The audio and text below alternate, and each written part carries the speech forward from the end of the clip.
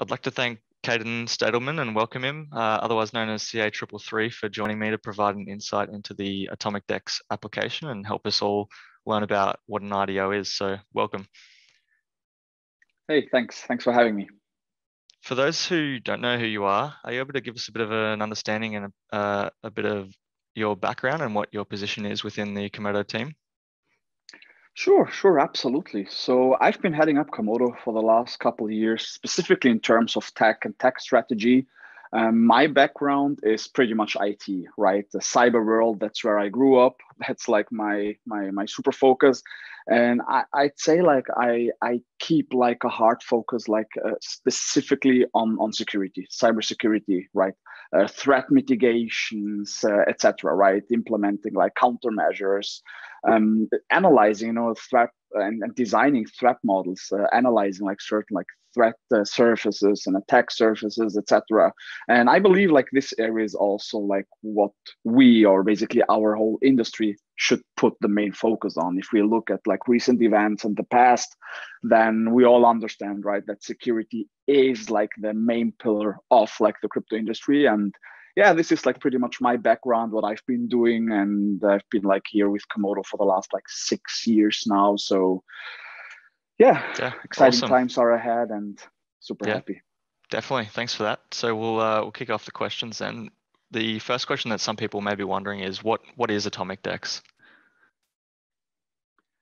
So in in simple words okay? I'll try to keep this one like simple and and as little like technical details as possible. Yeah. But i'd say atomic dex is like uh, our and uh, or the third generation cross chain and a cross protocol uh, defi platform or maybe in a short word like third generation dex.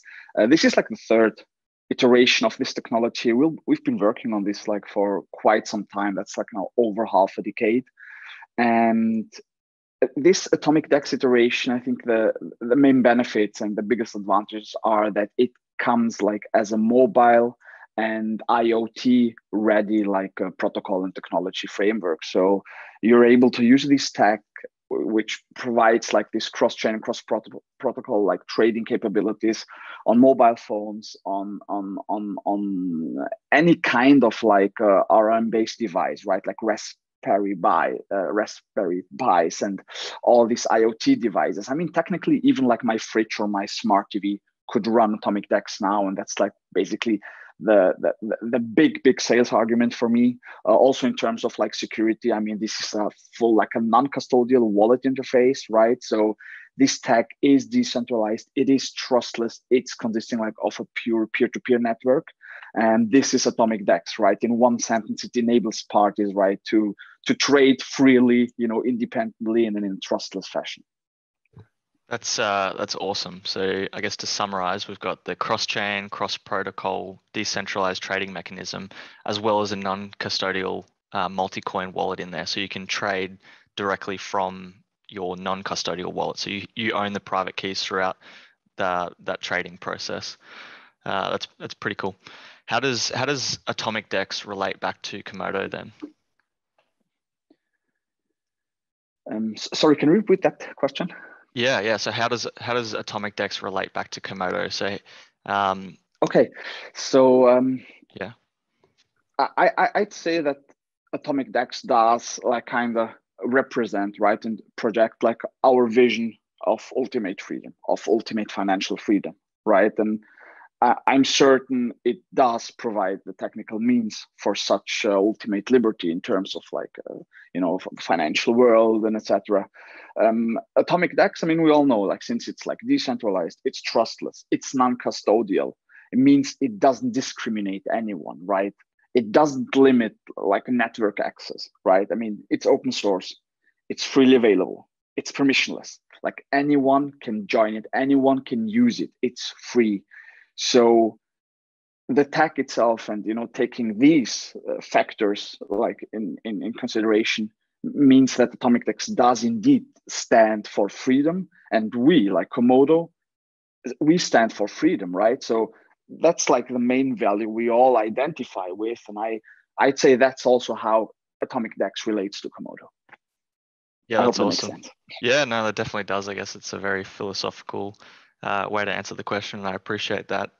Um, and moving on to the actual how-to then. So how does how does Atomic Dex work? What what is the back end, and then simply how does it work for people that want to to actually use it?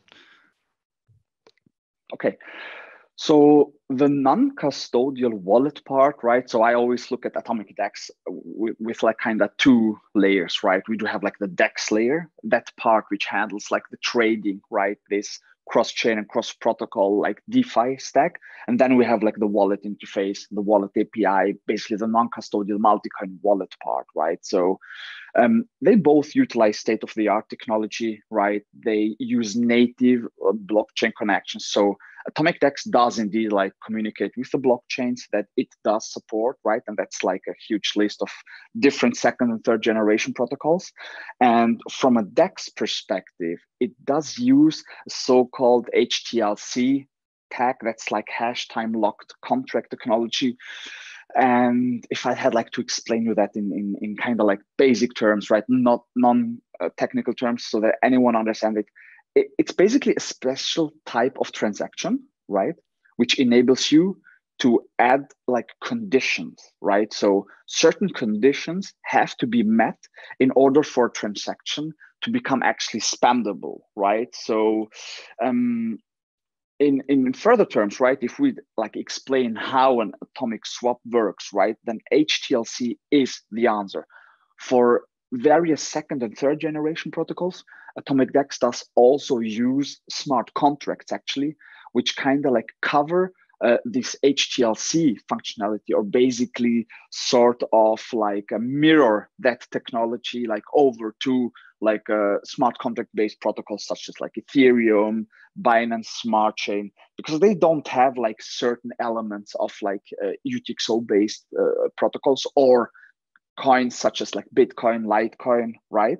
So this is how we basically solved it to also like provide this like wide like ecosystem support and compatibility in terms of supported uh, tokens and coins, right? I mean, it's it's a huge list. It's like 99% of all coins and tokens listed on Coin Market Cap are supported by Atomic Dex, right? And it is because we do use this like low level native core crypto technology, such as these hash time locked contracts.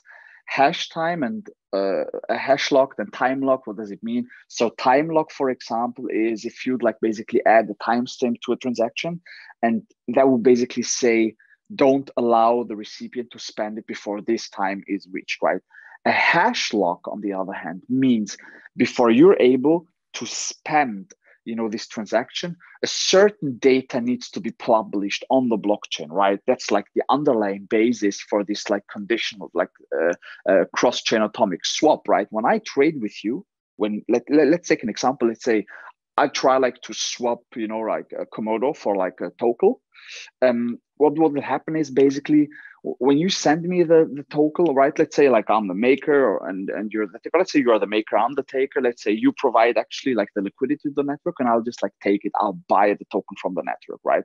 So what will happen is basically that the network, the blockchain network knows like on a protocol level that once you know like uh, i you know receive the coins from you i'll not be able to spend them before i paid you and vice versa right? This goes this is a both direction you know path. This is like a mutual agreement on the blockchain. Um, you also won't be able to spend you know like my payment unless i actually have the proof that i received the token that i paid for right? So this is like how this like technology like works. And i think like the most the most exciting aspect you know uh, in in this technology stack it's it's specifically in terms of security is that this prevents scams right? This prevents you know someone you know not holding up like to the agreement and trying you know like to scam you etc this is something that's like precluded with blockchain technology based like cross-chain atomic swaps right? I mean there are certain attacks still possible but it would be like very costly. In most cases it wouldn't pay off. It would turn it like non-lucrative for the attacker.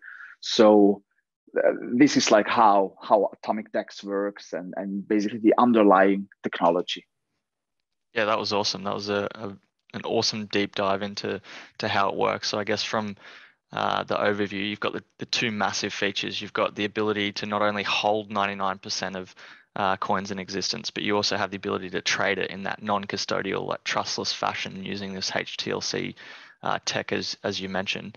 So just on that, exactly. um, you said these set conditions must be met in, in order to enable the transactions to be spendable.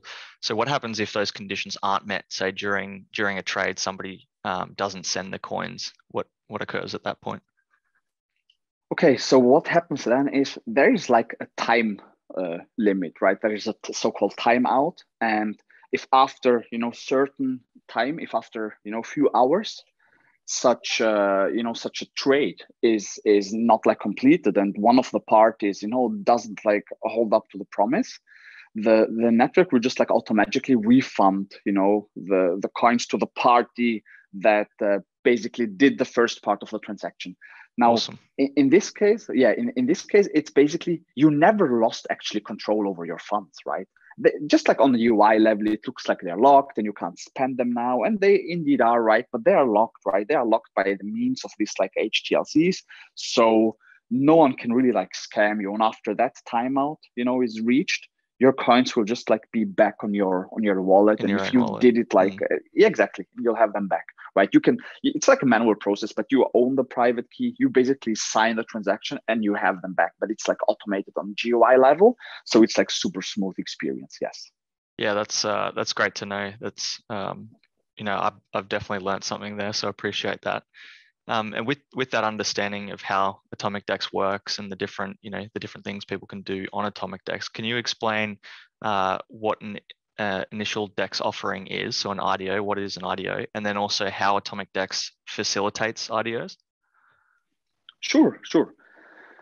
So ido i actually always like when someone asks me like what's an ido i just like say look it's basically a DICO. It's like an ICO, but adding the D means making it like decentralized, trustless, you know, permissionless, conducting it through a DeFi or DEX technology stack, right? Um, in, in, our, you know, specific case, uh, it means that the DEX network, right, will be the place where you know the so the IDO token or coin is being offered to the investors. So the investors we basically buy the IDO token or coin through the DEX network, right? So the IDO provider or holder will simply just like put up a market listing and the investors will just like buy them. So it's just like a usual maker taker, you know, a, a trading schematic like in a usual like DEX trade. However, in, in this specific case, you usually have like one big order, right? There won't be like a huge, you know, spread order big normally unless someone buys an IDO token and tries to sell it cheaper afterwards. But we all know we shouldn't like you know uh, buy high and sell low. We should do it like the other way around to make profit. So that's something that's usually like precluded as a risk. So you usually have like one big order um, by the IDO provider, and that market listing is basically the the IDO on the the open order exactly. book, and, and you kind of you hinted at it there that uh, that people will still be able to trade, so they could actually, in fact, purchase from the IDO and then undercut the IDO in a in a sense, but losing losing money during the process. So people are still able to freely trade during that that process. How do you think that yes. would affect the outcome of IDOs on Atomic Dex? Do you think it would have a, a negative or a positive or an, a neutral effect? I think it has a very positive effect because it uh, highlights, it it literally underlines you know this the liberty you know aspect we discussed earlier right? No one has control over what's happening on a dex network.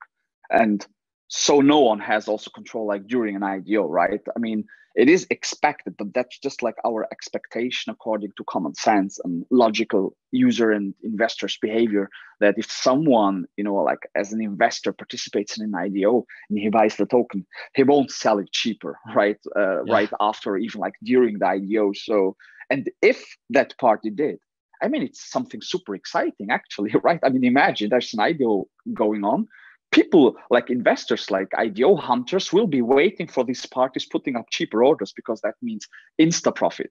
So um, I, I, even think it wouldn't be something bad if someone tried that right? But like from a tech perspective um, i think it's like something like super exciting using a dex defi network for such like an initial like a pr- product or like a coin or token offering um, because it does use like this this dex technology. It, it, it, means this is like permissionless right? As of today if, if you try to participate in an ipo and etc i mean certain uh, you know members of certain states uh, certain humans etc aren't allowed right? Because there's like some legislation some jurisdictions say no to them right? And a, an ido a dex network it's a technology that's not regulatable, right? We don't have any power over it. It's like the web. It's like the web. It's like the World Wide Web. It's like the internet itself. You can like the internet providers, the ISPs, the DNS providers. I mean, they have this all up and running and provide the infrastructure, but at the end of the day, they do not really like control what's going online. They can only retrospectively ban something, close something, you know, censor something but you know putting it initially up etc it's not regulated right? I mean that's something that's probably coming but with a dex network i think this is like the, the, the most exciting aspect of it like of the ido itself and that it's using a dex is this extreme level of liberty and freedom. So that brings us back like to the to the freedom uh, aspect of earlier. Yeah definitely. No that was a, a great answer there. And then my final question is how do how do atomic dex IDOs differ from the likes of IDOs that are conducted on on uh, Uni, Pancake, or Sushi Swap? Okay, so with with Sushi Swap, Uniswap, you know, on all all these so-called AMMs, right? I mean, there have been like really super interesting analyses, and I won't go too deep into it, but just like on on we scratch a bit on the surface is that, and that's that might be a bit political, but these protocols operate in, in, in a Ponzi scheme, right? Um, that's something that's been undisclosed. That's something that's known now. And besides that, so basically one of the like uh, core, you know, uh, schematics of uh, this protocol functionality is already like negative in my opinion. But then we also have like to to to look at the aspect of interoperability, right? These uh, automated like market making and automated liquidity protocols they i think the biggest negative in, in in terms of like tech from my perspective is besides like the security issues we've seen in, in just very recently is that they operate in a closed ecosystem right? They provide uh, support and uh, you know protocol compatibility with a very limited range of coins or, or not even coins uh, tokens actually right? That look uniswap for example uh, would mean like it's erc20 it's limited to this like ecosystem. Um, you're bound by the crazy transaction fees. Uh, you're limited by the number of coins that or, or the number of, of, of uh, cryptocurrencies that you could actually use in this ecosystem. And on the other hand atomic dex uh, first of all it's you know the tech itself doesn't operate like an amm or an uh, alp um, it is interoperable with a wide variety of second and third generation uh, protocols and that does actually also include erc20 bep20 slp and so on. And we have like a list of like other coins that are coming. Our dex team right now is working on lightning network support right? Means like enabling users at a certain point of time to trade through LN means reducing time and cost of a transaction or a trade to an absolute minimum right these are all benefits which you won't have on uniswap you won't have on on sushi and cream and whatever like other like uh, uh, platforms are up right so if you're like a bitcoin og and you have only bitcoins you are not able to participate in such an IDO. You'll be discriminated just because you don't hold any ERCs or BEPs. Awesome. That was uh, that was an absolutely fantastic answer. We'll uh, we'll call it there. But just to highlight for everyone, Atomic Dex has two massive features. You can you can not only hold, but you can also trade 99% of, of the coins that are out there in that non-custodial, trustless fashion. There's some awesome tech behind it. Uh, appreciate you coming on to to explain that to us. So thanks for your time. Thank you so much for having me, and yeah, I'm super excited and, and can't wait for the for the Tokel IDO. Thank you, Nutella. Appreciate it.